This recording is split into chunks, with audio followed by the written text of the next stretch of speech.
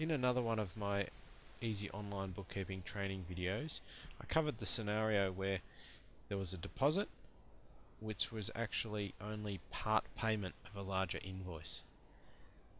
In this video, I'm going to cover from the same customer where there's a deposit which is over and above the invoice it was intended to pay. So in this scenario, there's going to be $300 accidentally overpaid. So I'm going to demonstrate that by going into find and match here. Now you'll see there's an invoice in here for City Limousines for $550.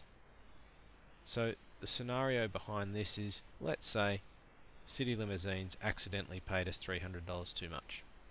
I'm going to click on the invoice, I'm going to scroll down and you'll see that the total's out by 300. That is, this $550 invoice has been overpaid by $300. To account for it as an overpayment, we click on Create New Transaction, Receive Money. Now here, we select Overpayment, check that the customer is City Limousines, and you'll see here Xero has suggested or defaulted to 610 accounts receivable. That's the account code for accounts receivable and what's essentially happening is that Xero is creating a negative account receivable. That is, the customer doesn't owe us, we actually owe the customer.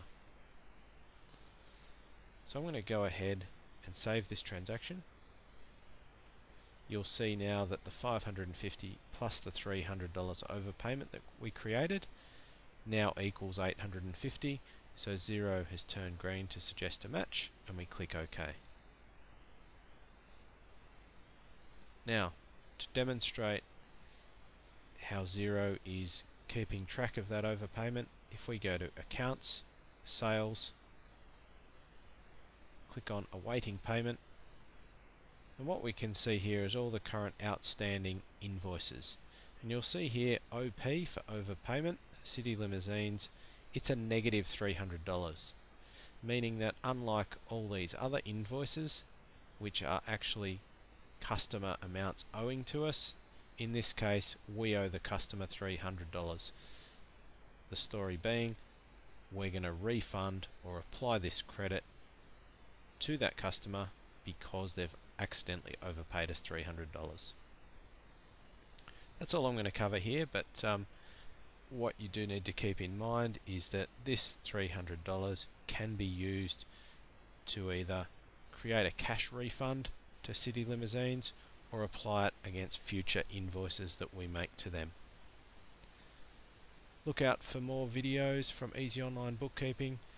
We're uh, doing heaps of them, um, so please if you have any queries with Xero, contact us via our website easyonlinebookkeeping.com.au.